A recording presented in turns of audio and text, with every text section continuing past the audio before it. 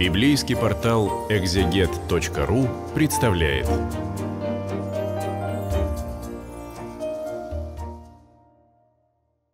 Наши лекции записываются в Сретенской духовной семинарии и размещаются на портале exeget.ru.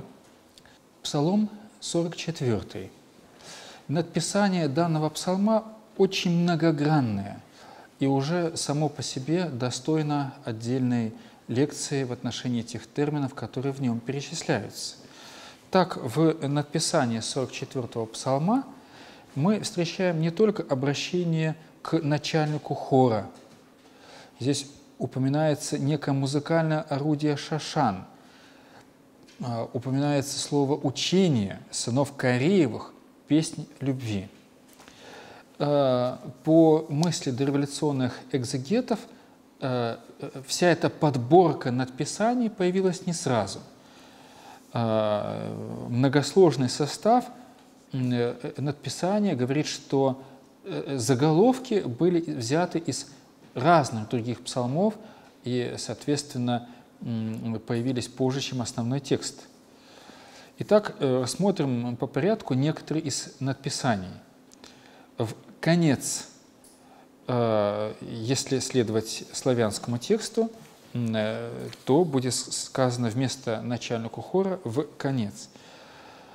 Э, для многих святых отцов, которые читали Библию на греческом языке, «истотелос» в конец воспринималось как указание на будущие времена, как на пророчество, которое в конце времен должно исполниться – Дальше по-славянски идет термин о изменяемых. И вот этот термин, он начинает толковаться следующим образом. Э, итак, что же это за изменяемое? Э, для э, святых отцов, опять же, которые читали Библию на греческом языке, здесь виделось указание на те перемены, которые должны произойти в людях, уверовавших во Христа Спасителя, которые свергают себя э, ветхого греховного человека и облекаются в нового, созданного по Богу и правде Его. Послание к Ефесиным. Э, но уже до революции за этими изменяемыми Э, экзегеты обращались к еврейскому оригиналу и видели указание на музыкальное орудие шошан, или по-другому множественном числе шошаним, э, которым назывался шестиструнный инструмент, имевший форму лилии. А, то есть буквально так получается, что э, не просто на шоша ним, а можно представить себе, что на лилиях. Лилия было образом всего прекрасного, то есть красоты вообще. В песне песней лилии уподобляются прекрасные девы, женская красота. Отсюда есть предположение, что переводчики 70, э, поняв э, аль-шошаним э, в переносном смысле – заменили символ лилия на, на предмет, вот, э, то есть тем самым введя указание на некоторых изменшихся, то есть на тех прекрасных дев, которые переменили свой образ жизни. Для святых отцов эти изменшиеся – это богомудрые лилии девы – которые стали невестами Христовыми. То есть те христиане из иудеев и язычников, которые должны были измениться.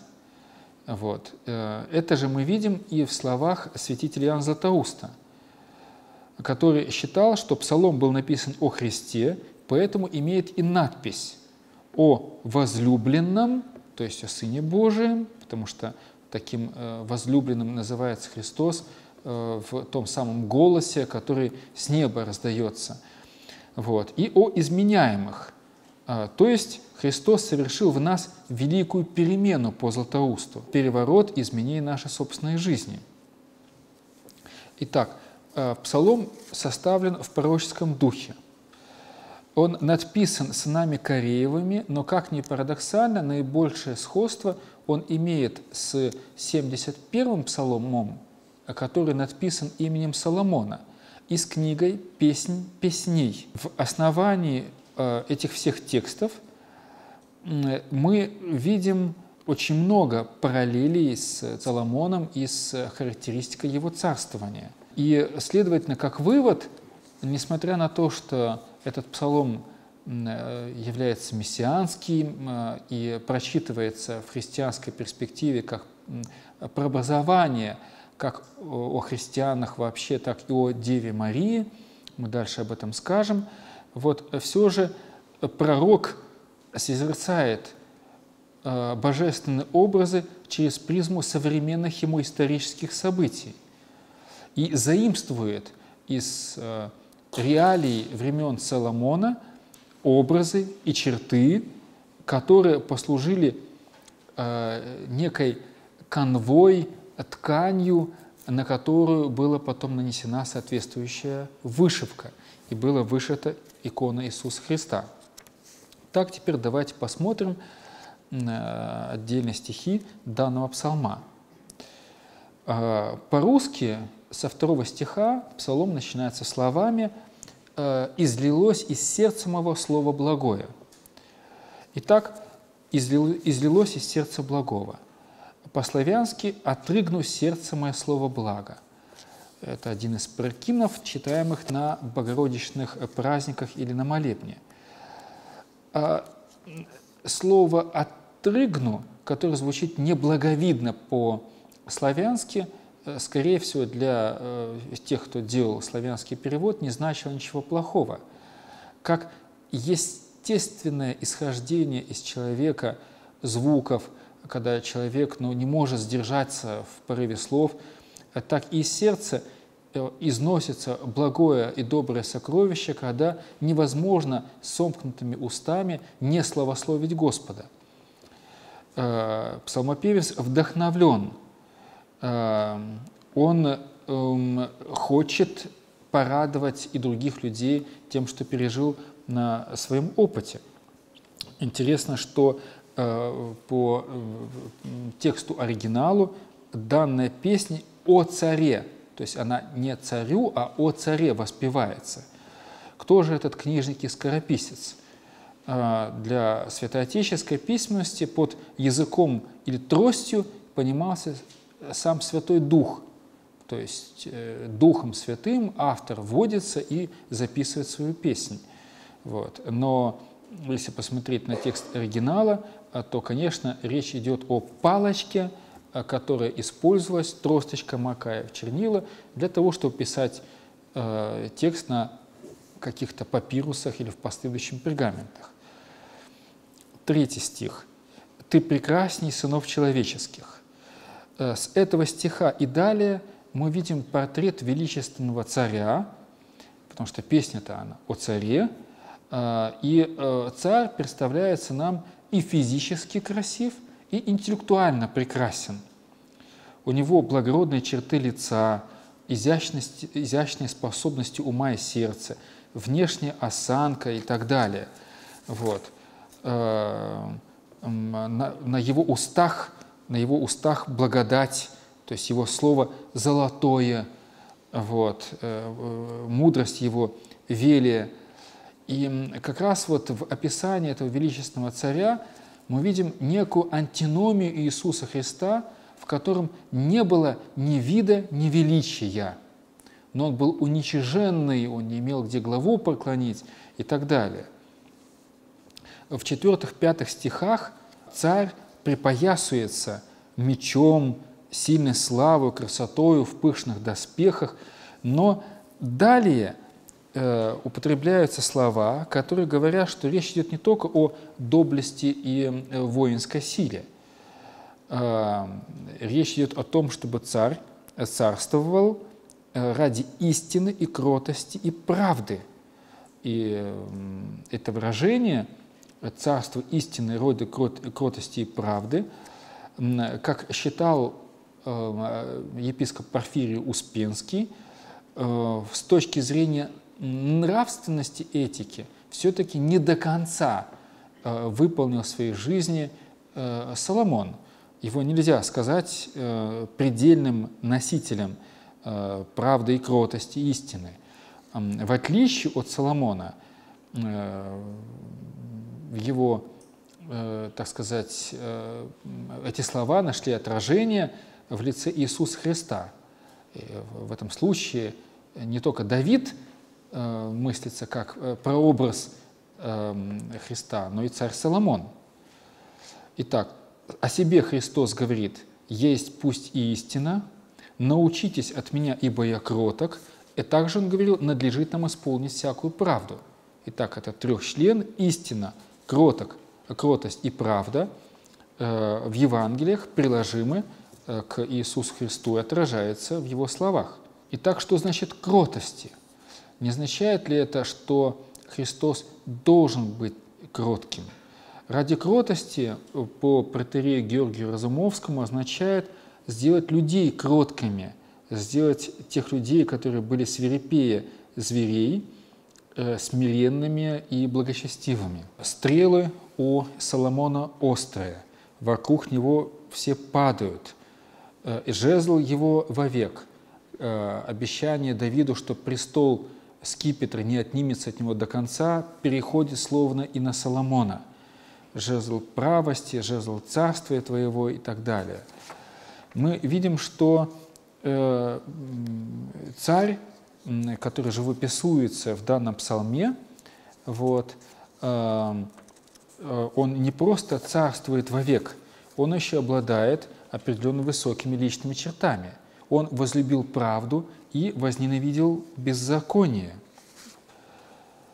В 9-10 стихе э, перечисляются разные вещества – смирно, алой и кассия – это перечисление тех самых э, благовоний, э, это могла быть э, корица, которая росла в Индии и Аравии, или какая-то тонкая благовонная кора, э, которая употреблялась для благовонных мазей и ароматов. Следовательно, речь идет, скорее всего, о э, духах, и о тех э, особых видах елея, которые служили для украшения человека, а не только для погребальных обрядов, или не столько. Итак, царь, одетый в благородные, праздничные, торжественные одежды, его э, престол из слоновой кости, он э, умащен соответствующими нарядами. И пред ним предстает царица – если э, буквально посмотреть на книгу э, «Песнь песней», то перед нами действительно принцесса, э, перед нами возлюбленная, э, ради которой Соломон готов жертвовать имуществом, ее украшать, которую он возвеличивает, возводит к своему престолу. Вот. С точки зрения христианской интерпретации, если Соломон – это прообраз Христа, тогда вот та самая щель, которая к нему подводится, это души, уневестившие себя Христу, или по-другому церковь, церковь как невеста Христова.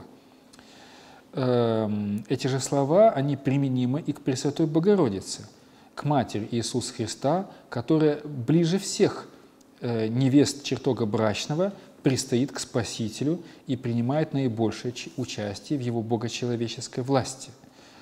Но какая же историческая канва могла стоять за стихами 11, 12, 13? Почему почетная среди других цариц, данная царица должна забыть э, дом отца своего и свой народ? Вполне возможно, что э, невеста, о которой идет речь, была дочь египетского царя, которая, хотя и был воспитана в египетской мудрости, но по-прежнему вместе со своими э, помощницами, служанками э, совершала или жертвоприношение языческим идолам, или имела к ним какую-то расположенность.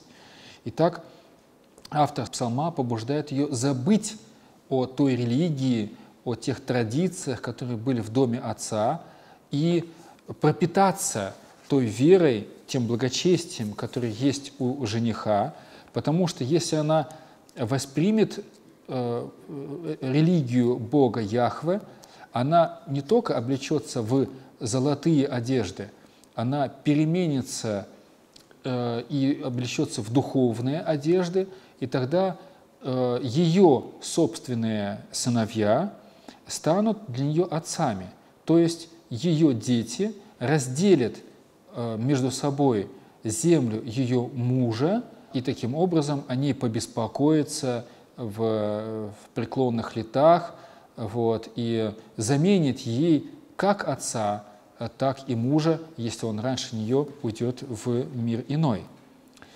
14, 15, 16 стихи говорят о том, что э, красота царицы не только во внешних ее э, нарядах и золотых э, серьгах и бусах, но во внутренней красоте, в, в том благонравии, целомудрии, который в последующем воспевал апостол Петр в следующих словах. Апостол Петр, увещая христианских женщин проводить чистую и добродетельную жизнь, им заповедовал «Да будет украшением вашим не внешнее плетение волос, не золотые уборы или нарядность в одежде, но сокровенное сердце человек в нетленной красоте кроткого и молчаливого духа». Бахрома э, и иные украшения – они ничего не значат по сравнению с э, внутренней красотой, с добродетельностью души. 18 э, стих заканчивается словами, которые также становятся паркином на богородичных праздниках. «Помяну имя Твое во всяком роде и роде». Понятно, что эти слова прежде всего относятся к Богу, имя Божие мы будем поминать во век и век. Но произнося данные слова за богослужение, посвященное Пресвятой Мати, а, мы, конечно же, понимаем, что и сама благая весть, посланная Архангелом Гавриилом, является началом для новой спасительной истории прославления имя Божие на земле через рождаемое святое семя – через э, Сына Божия, который приходит в мир, беря от нее человеческую плоть.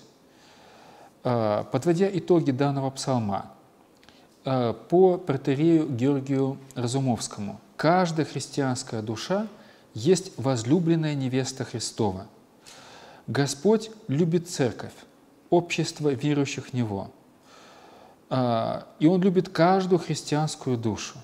Поэтому и мы призваны возлюбить Господа всем сердцем, всей душою, всю мыслью нашу, больше всего на свете, возлюбить Его святой закон, поклоняться истинному Богу, чтобы кротость, истина и правда воцарились в нашей жизни.